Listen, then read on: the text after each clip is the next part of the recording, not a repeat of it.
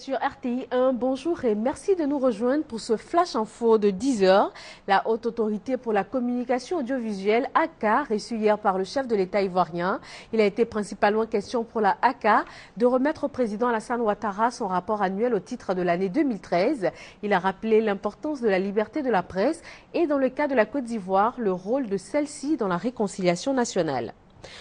Le ministre français de la Défense, Jean-Yves Le Drian, attendu à Abidjan ce vendredi. Avec le président ivoirien, il va parler de la réorganisation du dispositif militaire français en Afrique de l'Ouest.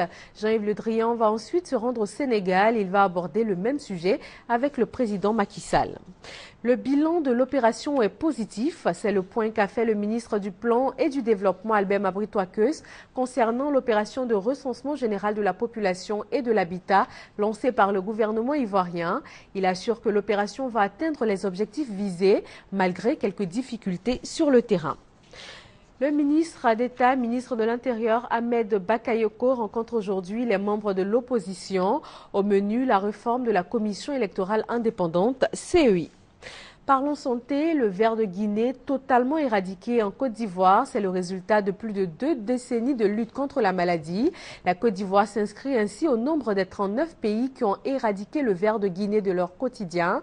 L'OMS a remis un certificat d'éradication du ver de Guinée au ministre de la Santé qui a appelé à la vigilance les populations afin d'éviter toute recontamination. Le fléau qui mine en ce moment la capitale économique ivoirienne, les agressions dans les taxis compteurs. Un chauffeur de taxi adepte du phénomène a été mis en déroute par sa victime et confié aux forces de l'ordre. Retour sur les faits dans ce reportage. Ce chauffeur de taxi compteur a à son actif 16 attaques perpétrées contre la gente féminine.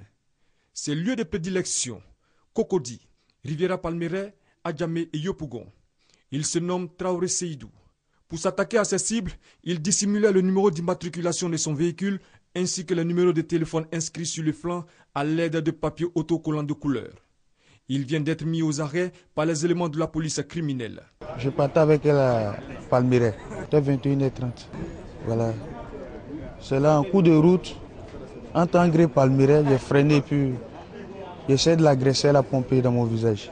Une perquisition effectuée à son domicile a permis la saisie de plusieurs objets, tels des couteaux, de la drogue, des montres, des lunettes, des sacs à main.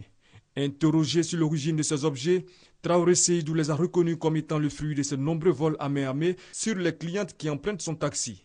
D'ailleurs, 16 d'entre elles l'ont formellement reconnu.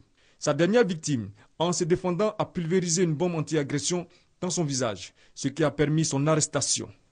Des stratégies de lutte ont été mises en place et nous allons sévir sans faiblesse, il faut que la population, que les chauffeurs de taxi, la corporation des chauffeurs de taxi nous aident à faire en sorte que les taximens braqueurs au niveau du district d'Abidjan, ce fléau ne soit qu'un mauvais souvenir. On compte à ce jour 23 cas d'attaque ciblés contre la gente féminine perpétrés dans le district d'Abidjan par des chauffeurs de taxi compteurs.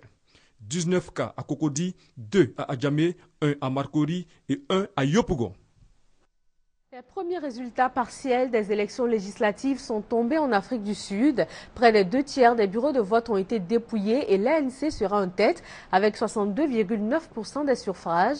La commission électorale indépendante a donné une conférence de presse et elle confirme un taux de participation de 72%. Après cinq mois de conflit et des milliers de morts, le président du Soudan du Sud, Salva Kiir, et le chef de la rébellion, Rick Machar, se rencontrent à Addis Abeba ce vendredi. Les deux rivaux vont engager un processus de paix. C'est le premier face-à-face depuis que la rébellion a éclaté en décembre dernier. Les Nations Unies mettent en garde contre un risque de génocide et accusent les deux camps de crimes contre l'humanité. La Cour pénale internationale CPI a dépêché hier jeudi sa première mission en Centrafrique. Objectif, poursuivre l'enquête préliminaire ouverte en février sur les crimes commis notamment par l'ex-rébellion de la Séléka et par les miliciens anti-Balaka. L'information également sur les www.rti.ci. Moi, je vous retrouve à 13h pour un nouveau point de l'actualité sur RTI 1.